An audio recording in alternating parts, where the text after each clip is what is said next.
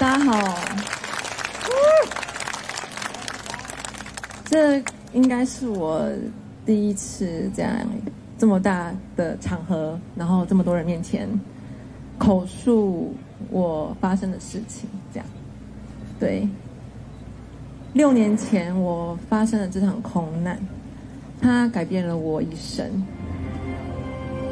呃，这应该是台湾史上第一次有飞机坠入河里。那我就是当初幸存的唯一的空服员黄静雅。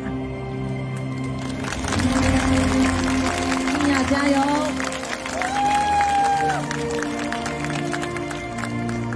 空难发生的当下，其实我非常的害怕。这当中我都。没有昏过去，我是非常清醒的状态下经历了这场事故。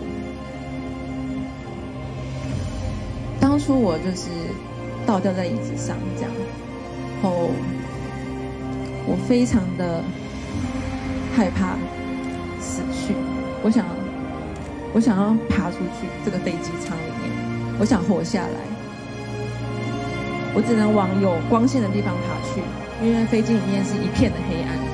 那在这一片的黑暗中，我只能往有光的地方爬出去。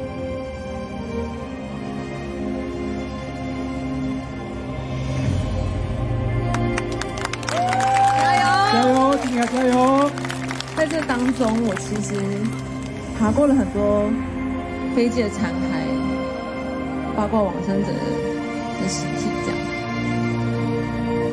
我一直以来都活在很恐惧跟很害怕的状态下。那我身心也非常严重的受伤，我身体内伤很严重，然后也罹患了非常严重的创伤后症候群。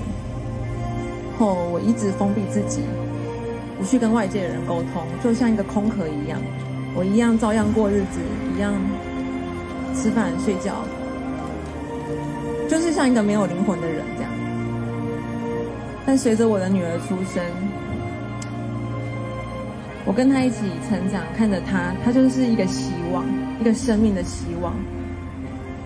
我也慢慢的好起来，我甚至想要更好，我想要保护他，他就像我的守护天使一样。